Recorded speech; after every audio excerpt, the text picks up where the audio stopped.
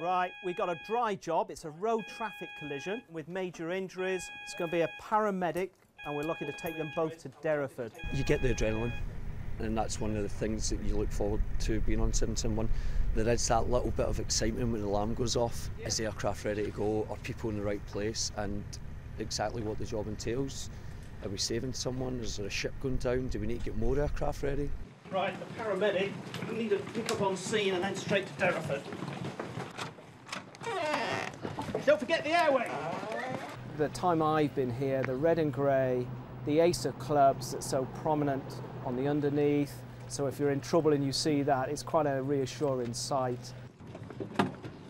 It does really show how good, well, not that we are good, although we are, but the appreciation that we have. They know that if they need you, you'll come. Yes. That pretty much sums it up. When the phone rings, they need us, we're on our way. I really enjoy it. It can be a bit daunting at times, you know, when, uh, when it's a bit of a rough sea state and, and the observer slides open the door and, yeah, you're going down on that deck. Uh, yeah, it can be a bit scary looking. You think, well, I don't really get paid enough for this.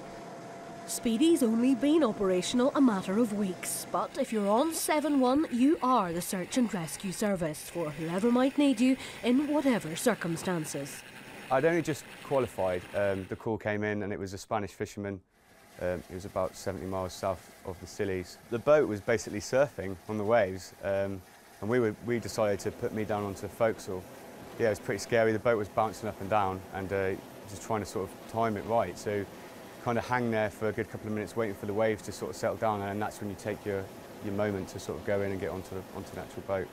Um, luckily there was a couple of crew to catch me. Uh, I did end up on my bum, but you know, it's just part and parcel of what you can expect. The Spanish fisherman, yeah, he'd basically um, smashed his head and uh, cut all his face up and has also broken his arm. I was like a cat in the headlights, went into the cockpit and uh, had, a, had a look round and there was this guy in the corner looking at me to make him better. There's support on hand from seriously experienced aircrew.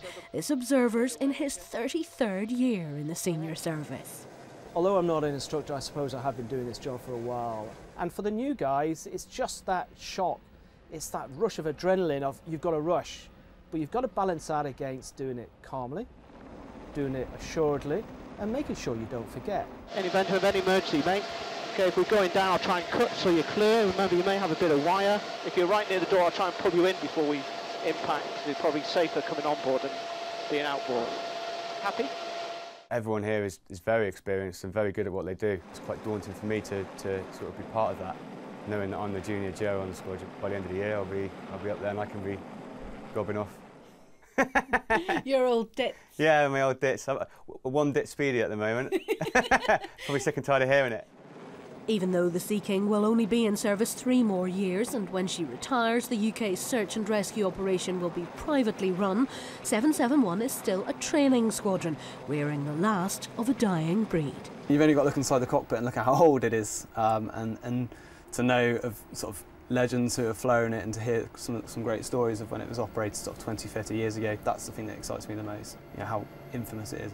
The airframe's held in such veneration that administering the tender loving care she needs is a privilege, not just a duty.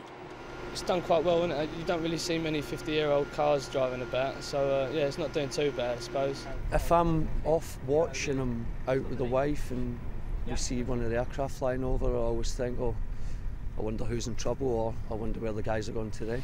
Living in Cornwall, no matter where you are, if you see the red and grey in the sky, you always you always think to yourself, oh, I wonder what's going on.